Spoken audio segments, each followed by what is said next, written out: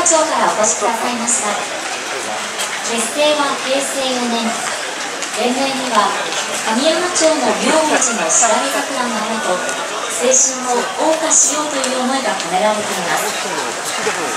神山町はサテライトオフィスの誘致などで県外からの移住者が増え話題になっていますがそうした移住者だけでなく昔から住む人たちも霊園に加わっています。さまざまな例を参考に練習を重ねた踊りをご覧ください。どうぞ。